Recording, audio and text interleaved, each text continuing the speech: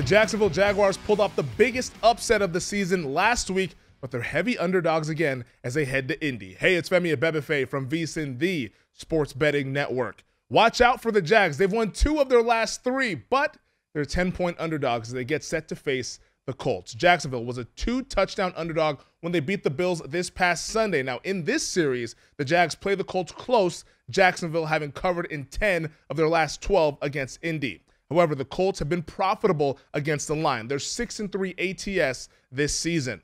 As for the total of 47 and a half, 5 of the Colts last 6 have finished over, but the Jags are only 2 and 6 to the over. Jacksonville is gaining in popularity at the window.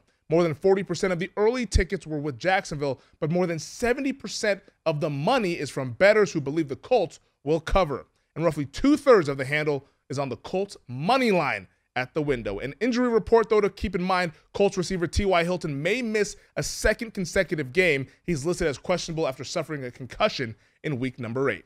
If you feel the need to succeed, get the latest betting lines, total splits, and information at vsin.com.